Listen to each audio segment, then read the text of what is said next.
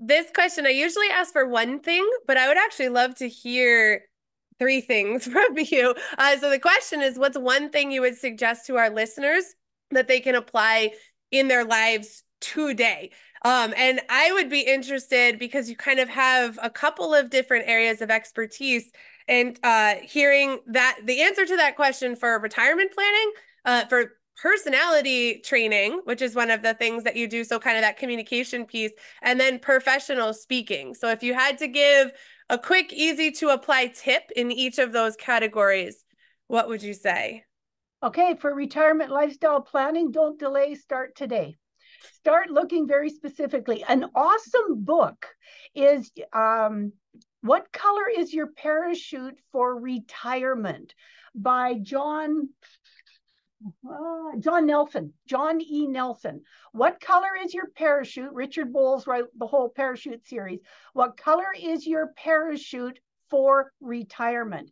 And he talks about six elements that are absolutely critical. Buy the book, Amazon chapters, wherever, Barnes and Nobles, buy the book. You start that today number one. Uh, the second element was for personality training. Right now, you can go on to personalitylingo.com. My good friend Mary Miscisin, who lives in Sedona, Arizona, who was one of my personality training instructors years and years ago, and she wrote the book uh, True Colors. She wrote the book Personality Lingo.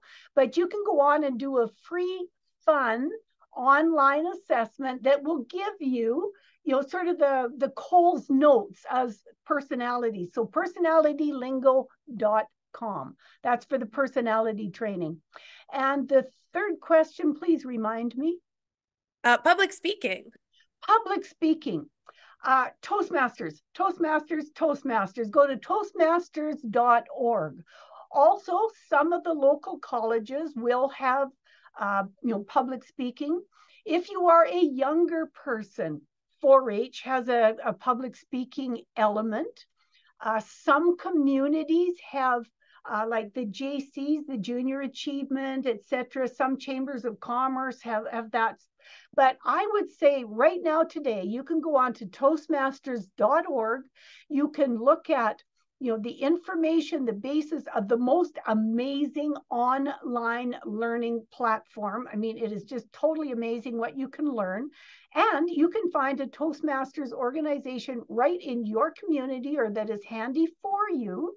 Reach out and connect with them and you can get that started right now today between christmas and new year's. You're not doing anything else. Just reach out to these places and just start getting your plans in place so that on january 1st when you sit down and write your 2024 plan for success, you're going to have already done your personality assessment. You will know where your local Toastmasters club is, and you will know where an association or support is for you to do your retirement lifestyle planning. Just a thought.